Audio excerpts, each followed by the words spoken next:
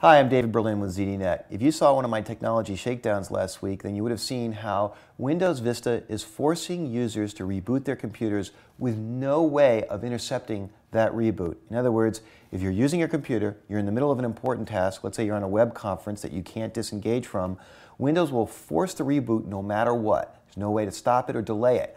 Now, in that reboot process, you can see the option to delay the reboot, but it's grayed out. A lot of ZDNet readers had questions as to why that might have been. As it turns out, we were logged in as a standard user into Windows Vista. A standard user has different privileges than an administrative user.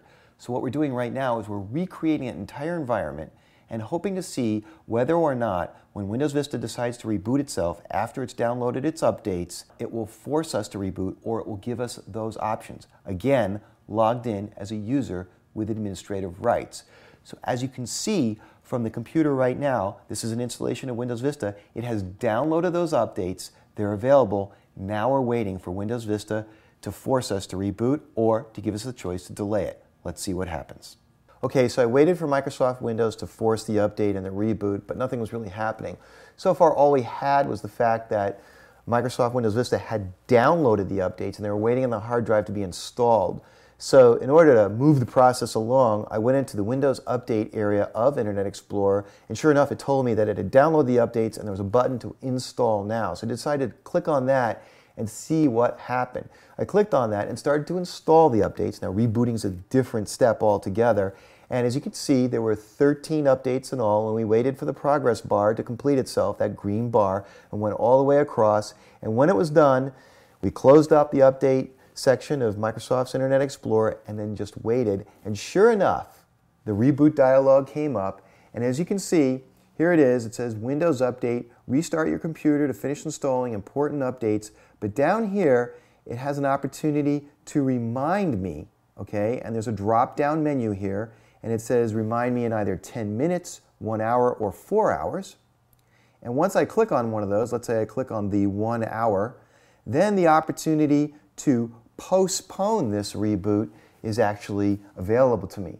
So what this is telling me is, is that this forced reboot that we did before and that Microsoft Vista forced me into doing, gave me no choice to postpone, as a standard user of Microsoft Windows Vista, is actually available to me the ability to delay it or postpone it when I'm an administrative user. And all I have to do is click on this postpone button. Of course, if I wanted to restart the computer right now, I could click on that. So I'm going to postpone it for an hour. So what should Microsoft do in this case? Well, I believe that the option to postpone a reboot should be available to any user. Standard user, administrative user, doesn't make a difference. What if you're in the middle of something really time sensitive? You shouldn't have to worry about what kind of user you are to avoid your computer being rebooted in the middle of doing something really important.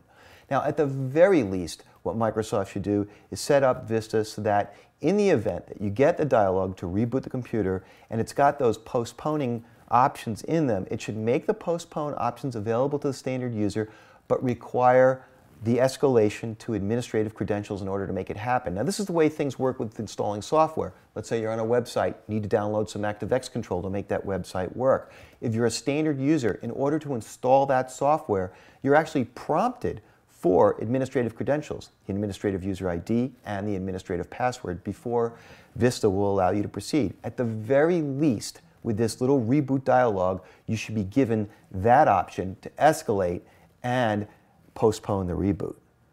For ZDNet, with another one of my technology shakedowns, I'm David Berlind.